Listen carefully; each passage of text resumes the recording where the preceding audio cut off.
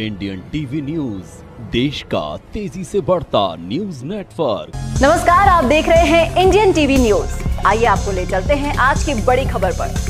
यूँ तो सिवनी की चारों विधानसभाओं में कांटे की टक्कर है, लेकिन इस बार लोगों की निगाहें सिवनी के अलावा केवलारी विधानसभा पर भी टिकी हुई है। पिछली बार कांग्रेस के गढ़ केवलारी में बीजेपी के द्वारा सेंध मार ली गई थी। वहीं राकेश पाल अपने निकटतम प्रतिद्वंदी रजनीश सिंह से विजय हुए थे। वहीं आज रजनीश सिंह के द्वारा अपना शक्ति प्रदर्शन करते हुए हज़ारों की संख्या में पूरे जोश खरोश के साथ अपना नामांकन दाखिल करने पहुँचे। इस बार रजनीश सिंह का कहना है कि जनता का अपार प्यार मिल रहा है और वो पिछली पराजय को भूलकर इस बार विजयी घोषित होंगे। पिछले पाँच सालों में भी रजनीश सिंह अपने विधानसभा क्षेत्र में सक्रिय नज़र आए, जिसका फ़ायदा रजनीश सिंह को मिलने की संभावना है। रजनीश सिंह 2013 के केवलारी विधायक हैं और ठाकुर हरवंश सिंह के सुपुत्र है।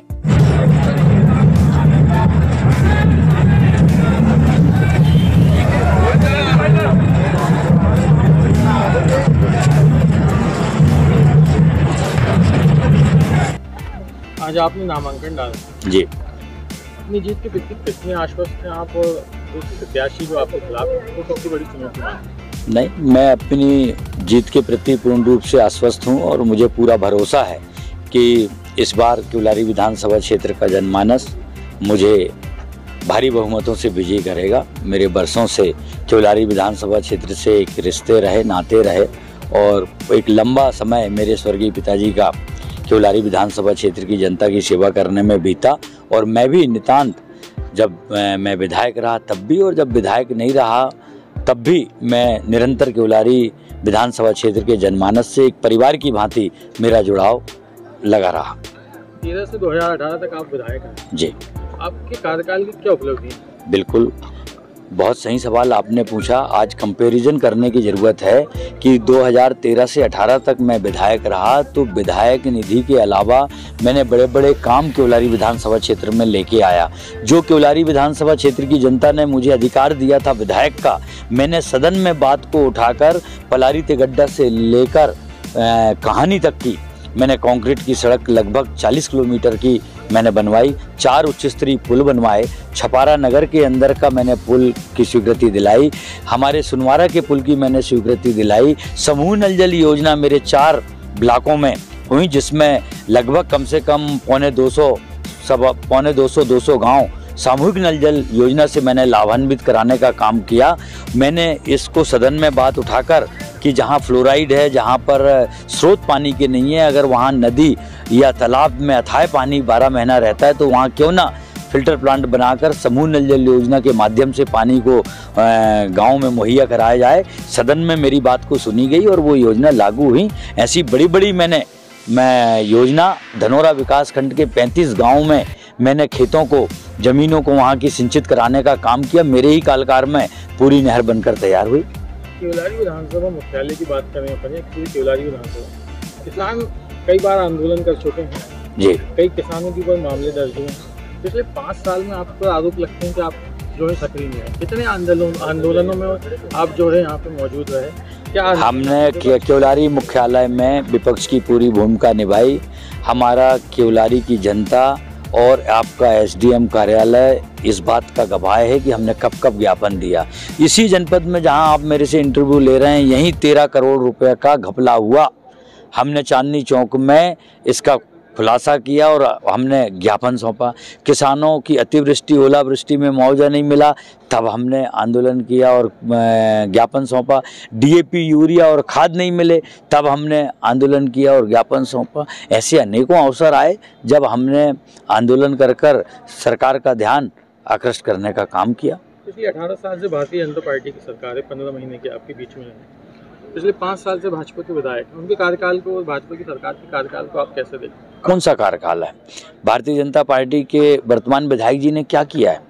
आचार संहिता लगने के पंद्रह दिन पूर्व खीसे में नारियल लेकर जो व्यक्ति जैसा कह रहा है, उसकी स्वीकृति दिला रहे हैं, पर वो स्वीकृति, प्रशासनिक स्वीकृति अगर होती तो पाँच साल ये क्या सोते रहते? पाँच साल प्रदेश और देश में इनकी सरकार थी, अभी तक तो सब कुछ हो जाना था। कितना बड़ा यहाँ पर जनता के साथ अहित हुआ है कि अतिवृष्टि में आज के तीन साल पहले जो सुनवारा और भीमगढ़ के पुल ढहे, उनकी तो वैकल्पिक व्यवस्था तक नहीं कर पाए। तीन साल में तो फिर से नवीन पुल पुल बन जाते और न केवल दो चार गाँव को जोड़ने वाली वो व्यवस्था थी, बल्कि 80 से सौ गाँव की राष्ट्रीय राजमार्ग, भारत कन्याकुमारी का जो मेन रास्ता है राष्ट्रीय राजमार्ग का वहाँ तक जुड़ाव का है स्वास्थ्य के लिए जुड़ाव का है शिक्षा के लिए जुड़ाव का है व्यवसाय के लिए जुड़ाव का है। आज दो दो पुल के बह जाने से वैकल्पिक व्यवस्था ना होने से लगभग सौ गाँव के लोग उससे हाथ हैं। ये भी तो माननीय विधायक जी ने नहीं किया। कौन सा विकास कर दिया बताइए आप। आप पर जनता क्यों भरोसा जताए। आपकी क्या प्राथमिकता है? अगर आप विधायक बन जाते हैं तो ऐसे क्या कार्य करेंगे? क्या दावे क्या वादे हैं जनता मेरे ऊपर विश्वास भरोसा इसलिए करेगी कि वो मेरे व्यवहार को जानती है, समझती है, मेरे कामों को जानती है, समझती है। मैंने न केवल विधायक निधि, पर अपने सदन में अपनी बात को उठाकर मैंने बड़ी बड़ी योजना विधानसभा में लाकर दी, जिसका प्रमाण है, जिसका कि आज जनता उपयोग कर रहे हैं। और वर्तमान विधायक, जिनकी प्रदेश और देश दोनों में सरकार थी, उन्होंने क्या ला के दिया अपनी विधायक निधि के अलावा? और विधायक निधि से भी क्या दिया उन्होंने? मात्र यात्री प्रतीक्षालय? इसके अलावा क्या उनकी उपलब्धि है, बताएँ आप? आप इसका खुद देख लें। हर जगह आपको सिर्फ़ लोहे की यात्री प्रतीक्षालय मिलेंगे। इसके अलावा और कौन सी उपलब्धि है उनकी? क्या किया? किसानों के लिए क्या किया? युवाओं के लिए क्या किया? आम जनता जनार्दन के लिए क्या किया? ये सब स्पष्ट बात नहीं, बल्कि उल्टे। जनता पर उन्होंने कहा, चुनाव जीतने के बाद आपको सर विदित है एक वीडियो वायरल हुआ था उनका कि मैं तो पैसा खर्च करके उन्होंने कहा था कि चुनाव जीता हूँ। तो इतना बड़ा कलंक? केवलारी की जनता जनमानस मतदाताओं पर उन्होंने किया, जबकि केवलारी विधानसभा ने हमेशा निष्पक्ष रूप से अपना आशीर्वाद दिया है और यहाँ से जो विधायक और नेता हुए हैं, उन्होंने निश्चित रूप से केवलारी विधानसभा क्षेत्र के नाम को गौरवान्वित करने का काम किया है। आज सीधा सीधा जनतों, जनता को कलंकित करने का काम किया है। मुझे पूरा विश्वास और भरोसा है कि आने वाली सत्रह नवंबर को केवलारी विधानसभा क्षेत्र की जनता पंजा की बटन दबाकर मुझे अपना आशीर्वाद प्रदान कर कर इनको करारा जवाब देगी। इसी तरह देश दुनिया की हर खबर को जानने के लिए देखते रहिए इंडियन टीवी न्यूज़। हमारे चैनल को सब्सक्राइब कीजिए और हमारे इस वीडियो को शेयर ज़रूर कीजिए। धन्यवाद। फिर मिलते हैं अगली खबर के साथ। इंडियन टीवी न्यूज़ देश का तेज़ी से बढ़ता न्यूज़ नेटवर्क।